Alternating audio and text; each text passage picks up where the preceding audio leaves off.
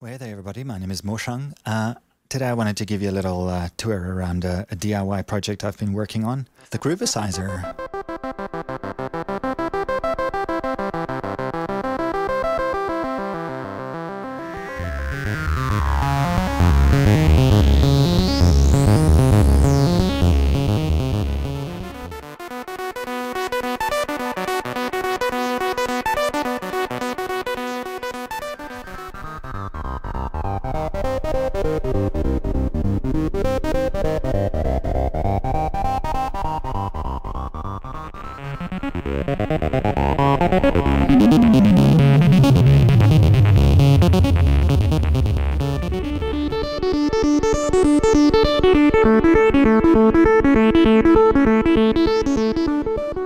Based on uh, an 8-bit granular synthesizer that uh, Peter Knight of uh, Tinker.it wrote for the Arduino development platform. It's called the Auduino, and I'll uh, put a link uh, in the notes uh, to the original code so that you can uh, go have a look and grab that.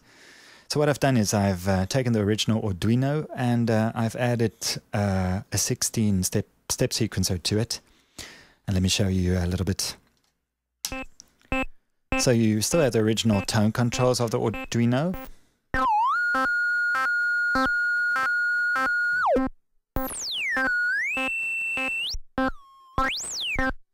but uh, you don't have uh, tone control anymore the way you used to. I've moved that to the right and this uh, potentiometer now has control functions, as you'll see in just a little bit. Okay, so how does uh, note entry work? Well, on these uh, one, two, three, four potentiometers, these knobs, uh, they allow you to enter your notes. So uh, if I hold down the first, uh, the first button here, you will see the first LED lights on. If I hold the second, uh, uh, steps 5 to uh, 8 are now indicated. Here you will be editing steps 9 to 12, and here you'll be editing steps 13 to 16, and that's what those LEDs are supposed to tell you. well, I only have the 8 LEDs, so uh, we have to make do. So holding the first uh, button, you'll see that uh, LED is lit. That means now I'm going to be editing uh, the first four steps. So if I uh, spin my dial here, you can hear me adding steps.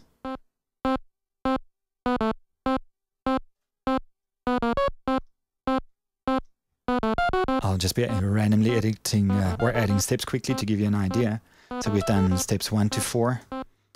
Second button will be steps 5 to 8.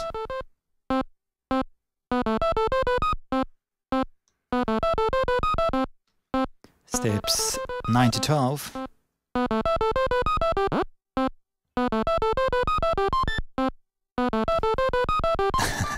okay, and it's a, a, a, very ugly little pattern right now, but it was just to give you an idea.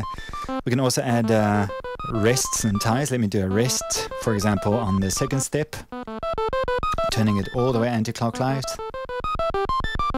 So there'll be uh, a rest there now. Or I can do ties by turning it all the way uh, clockwise. So let me just add a whole bunch of ties now. So you'll hear uh, steps 2 to 4 now are tied. But the cool thing, well, uh, an, an, upshot of uh, having only the four knobs is that you can uh, edit uh, a whole bunch of notes together. So if I want to edit steps 1, 5, 9 and 13 together, I hold down all four buttons and then and this way I can quickly make uh, you know a pattern like this and I can go in and then uh, edit individual notes or uh, you know again maybe just from steps 9 to 16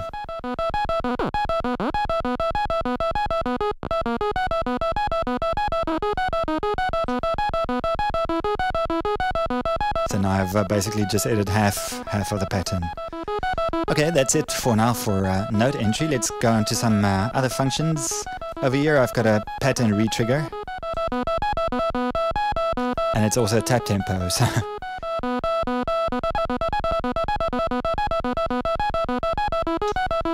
So okay, and that's uh, your tap tempo and retrigger. Over here I've got a pattern reverse.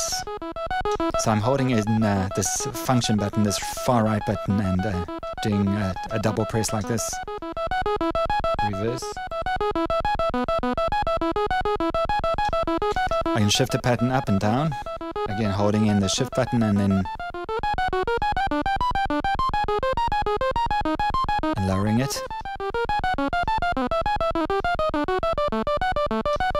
Okay, and uh, I was talking about this note that now doesn't do uh, note entry anymore. Now it uh, it does uh, yeah all kinds of uh, control functions. So here is uh, with nothing held down, it is the duration of the pattern. So now it's playing 16 steps. I can take it all the way down to one, two steps, three steps, four steps, five steps, all the way through to 16 with the shift button held down. This is uh, tempo, so you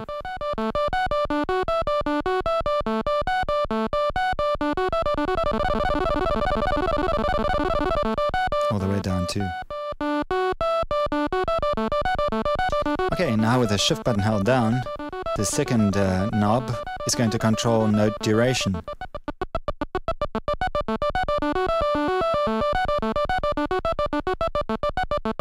And this third knob uh, controls swing.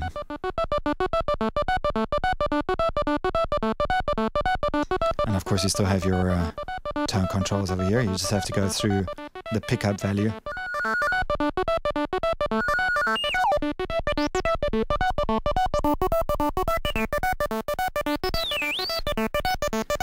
It uh, potentially a lot more useful is that uh, there's also a pattern mode. So I've shown you this uh, shift button. Well, what you do now is hold down the first button and press shift. And now you're in pattern mode from where you can re-trigger patterns. You've got memory locations from 1, 2, 3, 4, 5, 6, 7, 8. You've got 8 memory locations.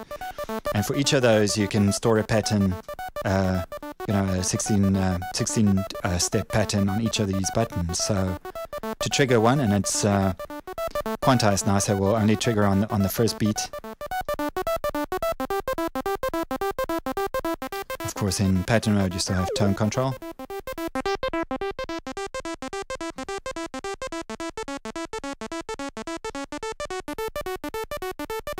Just hop out and uh, make the note duration a bit longer.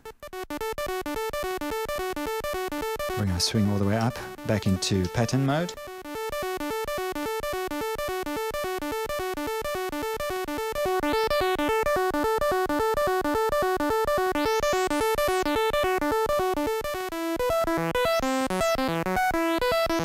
So you can do things like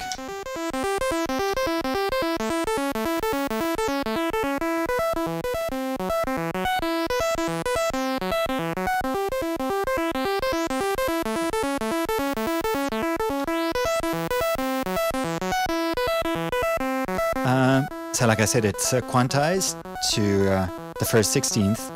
But if for some reason you want to re-trigger immediately, you can hold down the shift and then just trigger it immediately.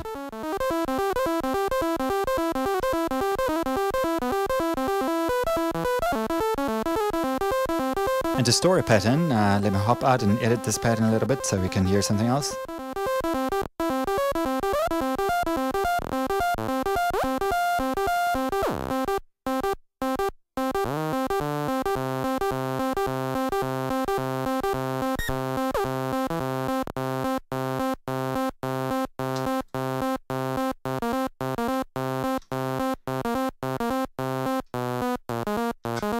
Okay, back into pattern mode. So now I'm going to go to the, say the, I'm not sure where I stored things before, so just to be safe, I'm going to go to the fourth memory, and uh, to store it, I'll uh, say I want to store it on the first button here, I'll long press. We'll start to blink to indicate that you're armed. If you want to exit and you don't want to save, you can press anything else. But just then store it, you would hit that same button again. There's a little display to show you that it's stored. And that is the Groovesizer. Uh, I'll be posting the code for this uh, open source code, so you're uh, welcome to go in and uh, change it and play with it, or you know, just uh, make your own Groovesizer. Uh, and also, no doubt you'll be able to improve on it. I'm a, I'm a novice at coding, so probably loads and loads of stuff that you can optimize there. So, a tour around the Groovesizer. Thank you.